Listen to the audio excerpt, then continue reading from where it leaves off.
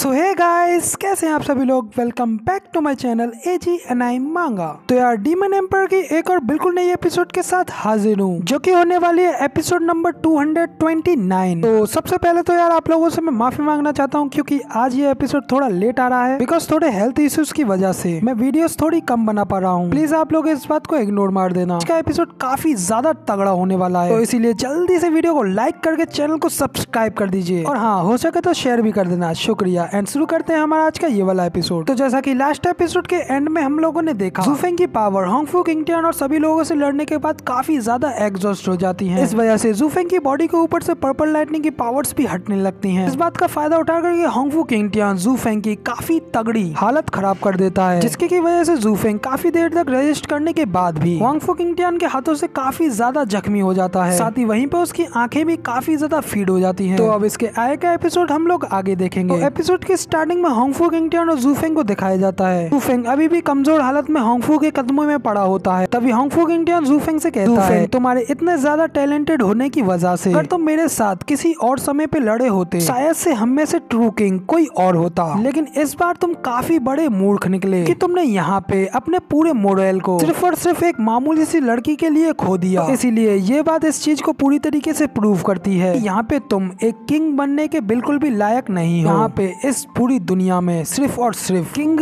एक है, जो कि मैं हूँ, होंगफू किंग टियान तो अब जब तुम अपने प्यार के लिए इतने ज़्यादा पूरी तरीके से खत्म हो चुके ही हो, इसीलिए अब मैं तुम्हारी यहाँ पे एक हेल्प करता हूँ, जिससे कि तुम अपनी उस बेवकूफ़ लड़की से जाकर के मिल लोगे। इतना कह करके होंगफू किंग टियान जूफेंग के ऊपर से अपना पैर हटाता है और फिर से जूफेंग के पेट में पैर मारते हुए उससे कहता है कि, जूफेंग, तुम उस मनुष्य लड़की की मौत के लिए इस तरीके से मेरे कदमों में नीचे झुकना पड़ा। इस चीज़ ने तो उस लड़की की मौत को मेरे लिए और भी ज़्यादा मीठा बना दिया। इतना कह करके होंगफू जूफेंग के फेस पर एक किक मारता है। लेकिन तभी साथ ही वो नीचे देख काफ़ी ज़्यादा हैरान होता है। वहीं पे जूफेंग उठता है और अपने हाथ से होंगफू किंगटियन की किक को रोकते हुए उससे कहता है कि होंगफू किंगटियन तुम कभी भी मुझे नहीं मार पाओगे। इतना कह करके जूफेंग फिर से अपनी डार्क पावर्स को रिलीज़ करता है और साथ ही वहीं पे होंगफू किंगटियन के पैर को अपने हाथों से झटकता है। वजह से होंगफू किंगटियन भी पीछे की ओर ढकेला जाता है। की बची हुई इन पावर्स की वजह से होंगफू किंगटियन काफ़ी दूर पीछे की ओर ढकेला जाता है। तभी होंगफू किंगटियन अपने आप को संभालते हुए हैरान होते हुए कहता है कि ये तो बिल्कुल इम्पॉसिबल है। आखिरकार इसके पास अभी तक इतनी ज़्यादा पावर्स कैसे बची हुई हैं? इधर जूफेंग के अंडर से काफ़ी ज़्यादा पर्पल लाइटनिंग की पावर्स रिलीज़ हो रही होती हैं। तभी जूफेंग एक जोरदार चीख मारते हुए होंगफू किंगटियन को आवाज़ लगाता है और उससे कहता है कि होंगफू किंगटियन भले ही आज मैं यहाँ पर मारा जाऊँ, लेकिन अपने साथ मैं तुम्हें भी ले जाऊँगा। न कहकर के जूफेंग अपनी divine eye of the world की पावर्स को उसकी फुल लिमिट्स पर रिलीज़ करता है।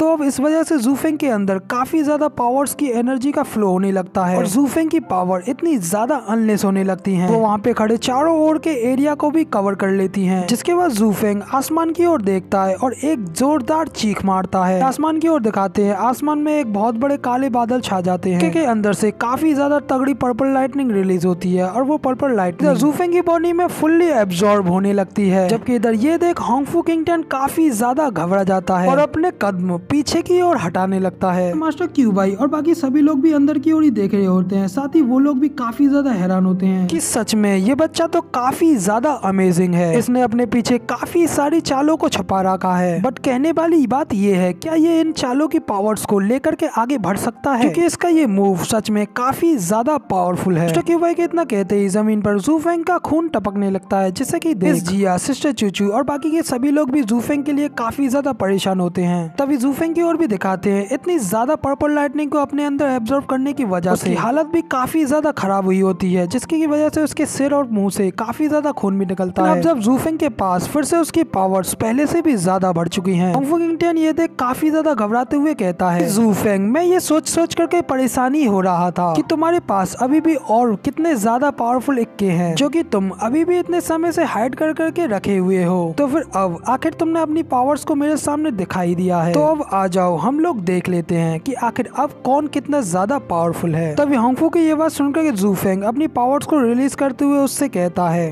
केवल ये पता लगाने के लिए हराने के लिए कितनी ज़्यादा पावरफुल शक्ति की होने की ज़रूरत है। के लिए मुझे गुस्सा दिलाना तुम्हारे लिए एक मूर्ख चाल है। फेंग को अपने सामने खड़ा होता हुआ देख होंगफू किंगटियन हंसता हुआ उससे कहता है जू फेंग तुम्हारी बॉडी अभी भी काफ़ी ज़्यादा कमज़ोर है। तो तुम अभी भी मुश्किल से ही खड़े हो पा रहे हो। हो सकता है कि तुमने इस सब के बाद काफ़ी ज़्यादा पावर को ऑप्टेंड कर लिया हो। लेकिन तुम्हारी इतनी ज़्यादा पावर भी मुझे हराने के लिए काफ़ी नहीं है। होंगफू किंगटियन इतना कहता ही है कि तभी जू फेंग पलक झपकने की स्पीड से आगे बढ़ता है और सीधा फुकिंगटियन के फेस पर एक जोरदार पंच मारता है। दिखाते हैं कि जूफेंग के पंच की वजह से वहाँ पे एक पर्पल लाइटनिंग का जोरदार धमाका होता है। फेंग ने जो अपने पर्पल लाइटनिंग का पंच होंगफू किंगटियन के मारा होता है, वो पंच इतना ज़्यादा पावरफुल होता है कि उसके सामने होंगफू किंगटियन भी एक मिनट नहीं टिक पाता। ये देख होंगफू किंगटियन के सारे लोग, यानी स्पेक्टर ड्रैगन और बाकी के सभी लोग काफ़ी ज़्यादा हैरान होते हैं। साथ ही बाहर से देख रहे मास्टर होंगफू और सरलैंग उनका भी ये नज़ारा देख मुँह खुला का खुला रह जाता है। उस जगह का भी हाल दिखाया जाता है जहाँ पे की जूफेंग ने हांगफू किंगटियन के एक जोरदार पंच मार करके दूर फेंका होता है। फेंग पंच की पावर की वजह से हांगफू किंगटियन सीधा ज़मीन में जाकर के गड़ जाता है। लेकिन उसके थोड़ी देर बाद ही वो फिर से ऊपर से पत्थर हटाते हुए बाहर निकलने की कोशिश करता है। जबकि बाहर निकलने के बाद जूफेंग के पंच की वजह से हांगफू किंगटियन की हालत काफ़ी ज़्यादा खराब हो जाती है। किंगटियन जैसे ही अपने आप को थोड़ा संभालता है तो वो सोचने लगता है कि आखिर वो क्या था? सच में वो पंच कितना ज़्यादा तेज था और वो कितना ज़्यादा पावरफुल था। आखिर वो कमीना जूफेंग तो। पहले से इतना ज़्यादा कमज़ोर है और अपनी आखिरी टांग पर टिका हुआ है। तो फिर आखिरकार कैसे? कैसे उसके पास इतनी ज़्यादा पावर आ गई? इंडियन ये सारी बातें सोच ही रहा होता है लेकिन तभी अचानक काफ़ी ज़्यादा हैरान होते हुए सोचता है और कहता है कि रुको रुको आखिर मुझे मुझे इसके सामने इतना ज़्यादा डर क्यों लग रहा है? फिर हांगफू अपने आप को मना करते हुए कहता है कि नहीं नहीं ऐसा नहीं हो सकता। मैं तो हेवन का दिया गया अर्थ पर दिया गया एक गिफ्ट हूँ जो कि यहाँ पे इस दुनिया का होने वाला एक सच्चा राजा है। तो फिर आखिर मैं मैं कैसे जान सकता हूँ कि आखिर डर क्या होता है? नहीं, मैं किसी से नहीं डरता मुझे कोई भी नहीं डरा सकता। इधर हांगफू किंगटियन जैसे ही अपनी आँखें खोल करके जूफेंग को अपने सामने देखने की कोशिश करता है पल में जूफेंग उसकी आँखों की ओझल से गायब हो जाता है जिसे देख हांगफू किंगटियन काफ़ी ज़्यादा हैरान होता है। लेकिन उसी वक्त जूफेंग हांगफू के पीछे अपेयर होता है और फिर से की पीठ में एक जोरदार पंच मारता है। जूफेंग के पंच की वजह से हांगफू किंगटियन एक जोरदार चीख मारता है और उसके मुँह से खून निकलते हैं। जबकि हांगफू ये देख काफ़ी ज़्यादा परेशान होते हुए कहता है कि आखिर ये कमीना जूफेंग ये सब कैसे कर पा रहा है? जूफेंग में हांगफू को देख थोड़ा परेशान होता है क्योंकि जूफेंग ने अभी भी अपने पंच में काफ़ी ज़्यादा पावर्स को रिलीज़ किया होता है। इधर हांगफू किंगटियन भी अपनी पूरी जान लगा कर जूफेंग की पंच की पावर को होल्ड करने की कोशिश कर रहा होता है। तभी हांगफू किंगटियन जूफेंग से कहता है कि तुमने तुमने मेरा इतना ज़्यादा अपमान किया है। इसके लिए जूफेंग तुम्हें ज़रूर ही मरना होगा। इतना कह करके हांगफू किंगटियन जल्दी से वहाँ से हटता है। जूफेंग के पंच से दूर हट करके ऊपर आसमान की ओर आ जाता है। वहीं पे आसमान में अपने हाथ को ऊपर की ओर करता है और उसमें और आसमान में ही अपनी पावर को अपने हैंड में चार्ज करते हुए जूफेंग के ऊपर अपना एक सबसे खतरनाक अटैक चलता है जिसका के नाम nine dragon demonic body dragon empowered claw होता है। जिसके की वजह से हांगफू किंगटियन से की, की की एनर्जी से बना एक गोल्डन कलर का ड्रैगन बनता है। वो की एनर्जी से बना गोल्डन कलर का ड्रैगन और हांगफू किंगटियन दोनों ही जूफेंग के ऊपर अटैक करने के लिए आगे बढ़ते हैं। हांगफू के इस पावर अटैक के प्रेशर की वजह से के नीचे का ग्राउंड भी